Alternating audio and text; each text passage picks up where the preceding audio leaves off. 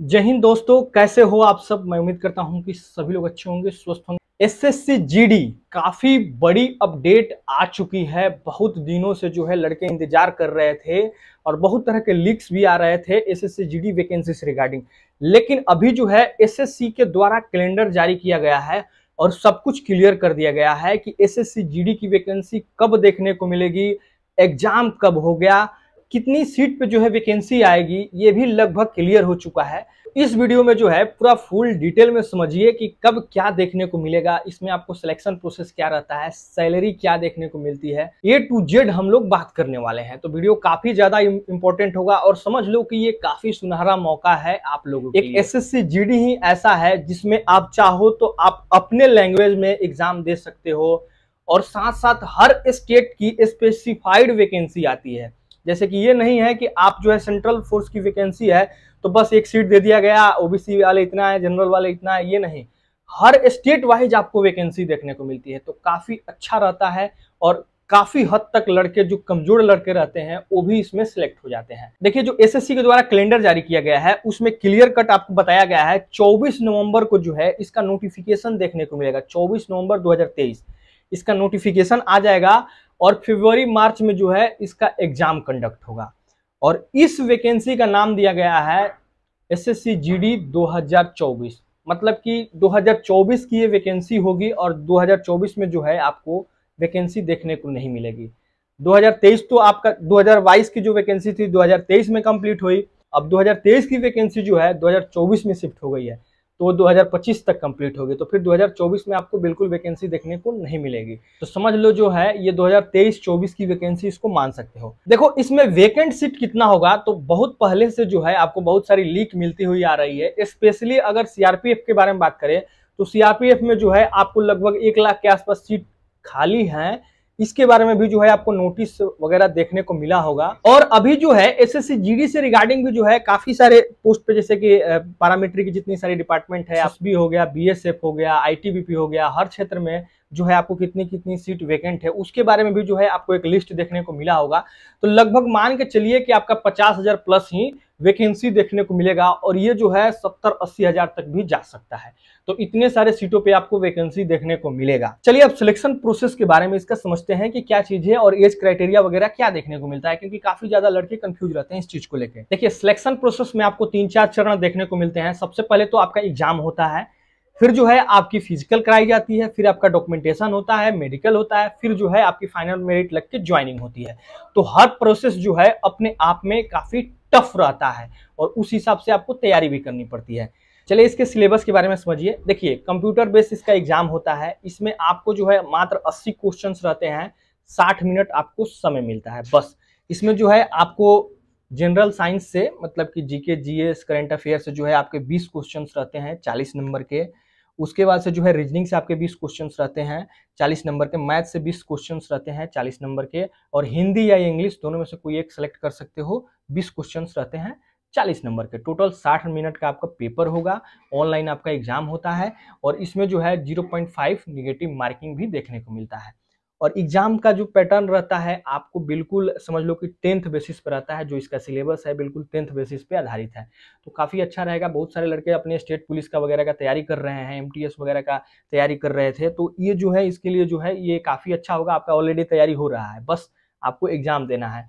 और बहुत सारे ऐसे लड़के हैं, जो 2022 में जिनका मेडिकल में अनफिट हो गया है, थोड़ा बहुत फ़िज़िकल में अनफिट हो गया है, और कुछ लोगों का रिटर्न नहीं निकला तो वे जो है अपना वीक पॉइंट को देखें और काम करें सब कुछ क्लियर हो गया है तो अब जो है आपको मेहनत करना है और अपने लक्ष्य को पाना है। चलिए इसके फ़िज़िकल क्राइटेरिया के बारे में समझिए। तो देखिए एज के बारे में बात करें तो इसमें जो है आपका 18 से 23 एज देखने को मिलता है। पिछली वैकेंसी में जो है आपको तीन साल की छूट भी देखने को मिली थी, लेकिन जहाँ तक इस वैकेंसी में है, आपको कोई छूट देखने को नहीं मिलेगा। तो 18 से 23 आपका जनरल का एज रहता है। फिर से जो है आपको ओबीसी के लिए तीन साल की छूट मिलती है और एस सी वालों को जो है पाँच साल की छूट मिलती है। तो इस तरह से जो है आपको छूट की क्राइटेरिया देखने को मिलता है। हाइट के बारे में समझिए, देखिए मेल कैंडिडेट जो होंगे जनरल ओबीसी और एससी इनका जो है एक सत्तर हाइट लिया जाता है। और जो मेल कैंडिडेट एसटी होंगे, इनका जो है एक बासठ दशमलव पाँच सेंटीमीटर हाइट देखने को मिलता है। चेस्ट जो है अस्सी से पचासी सेंटीमीटर लगता है और रनिंग जो है पाँच किलोमीटर की रनिंग चौबीस मिनट में करनी पड़ती है। तो फ़िज़िकल क्राइटेरिया में ये तीन चीज़ आपको देखने को मिलते हैं। तो फीमेल जनरल ओबीसी और एससी इनका हाइट जो है एक संतावन सेंटीमीटर मांगा जाता है और फीमेल जो एसटी होंगे इनका हाइट एक पचास सेंटीमीटर देखने को मिलता है। और इन लोगों को जो है 1.6 पॉइंट की रनिंग जो है साढ़े आठ मिनट में करनी होती है।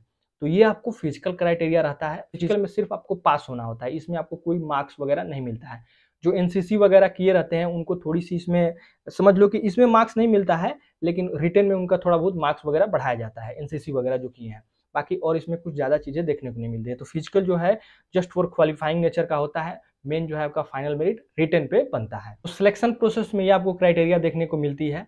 अब इसके बाद से थोड़ा सा डॉक्यूमेंटेशन के बारे में समझ लिए तो डॉक्यूमेंट्स में जो है आपको मैट्रिक का टोटल डॉक्यूमेंट्स लगता है और जो भी आप छूट के लिए इस्तेमाल करते हो डॉक्यूमेंट्स जैसे कि S C S T O B C general E W S जो भी इन लोगों का डॉक्यूमेंट्स रहता है creamy layer non creamy layer O B C वाले रहते हैं एस सी एस टी वाले जो डॉक्यूमेंट्स बनवाते हैं ई डब्ल्यू एस वाले डॉक्यूमेंट्स बनवाते हैं, ये सारा डॉक्यूमेंट्स लगेगा वैलिड डॉक्यूमेंट्स रहना चाहिए और सेंट्रल का रहना चाहिए।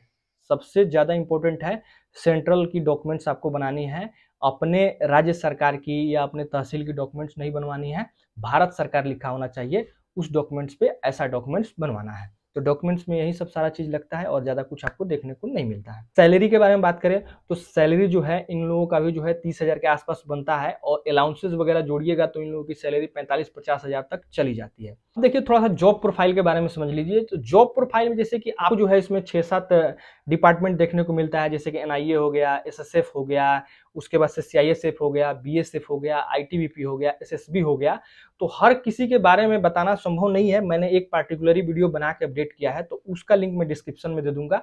एक एक चीज़ के बारे में क्लियर कट मैंने बात किया है कि कब किसका जो है स्थापना हुआ था और किसकी मुख्यतः क्या ड्यूटी रहती है। तो उसको जाके देख सकते हो। मुख्यतः आपकी ड्यूटी क्या रहती है, इसको समझिए। आप पारामिलिट्री के फोर्स हो तो सबसे पहले अगर ग्लोबली बात करें तो हर किसी को जो है इलेक्शन ड्यूटीज़ वीआईपी ड्यूटीज़ ये सब करानी है।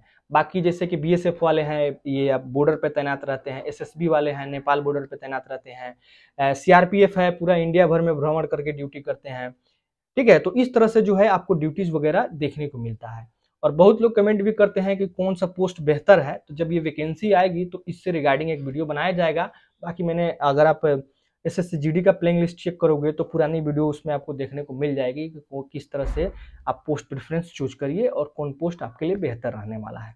कि अपने हिसाब से हर पोस्ट जो है बेहतर है, क्योंकि अल्टीमेटली आपको पैसा कमाना है, आप बेरोजगार हो तो कोई भी मिल जाए तो बेहतर है। तो यही इसका फुल डिटेल रहा। मैं उम्मीद करता हूँ कि आप लोग समझ गए होंगे और बिल्कुल जो है, जो भी लड़के इंतज़ार कर रहे थे, वे अपने तैयारी में लग जाए। काफ़ी गोल्डन अपॉर्चुनिटी है और एक होता नहीं है कि आपको सब कुछ पता है कि फॉर्म कब आने वाला है एग्ज़ाम कब होगा फ़िज़िकल कब होगा तो आपको तैयारी करने में भी मज़ा आता है। बाकी जैसे कि स्टेट पुलिस की वैकेंसी आती है, आपको पता है, कुछ पता नहीं रहता है फॉर्म कब आएगा एग्ज़ाम कब आएगा। लेकिन एसएससी का फॉर्म भरने में यही एक प्लस पॉइंट रहता है कि आपको हर कुछ पता रहता है पहले से ही कि एग्ज़ाम कब होगा, फॉर्म कब भराएगा। इसलिए जो है आपको पढ़ने में भी मज़ा आता है और तैयारी करने में भी, फॉर्म भरने में, फ़िज़िकल की तैयारी करने में हर कुछ में जो है आपको मज़ा आता है। और इसमें जो है आप अच्छे से कॉन्सेंट्रेट करके जो है अपना हर काम करते हो। यही इसका फुल डिटेल रहा। इसके अलावा भी यदि आपके दिमाग में कोई क्वेश्चन क्यूरी सुझाव बन रहा होगा तो आप लोग पूछ सकते हो। ठीक है दोस्तों, फिर मिलते हैं अगले कोई नेक्स्ट अपडेट में। जय हिंद, वंदे मातरम।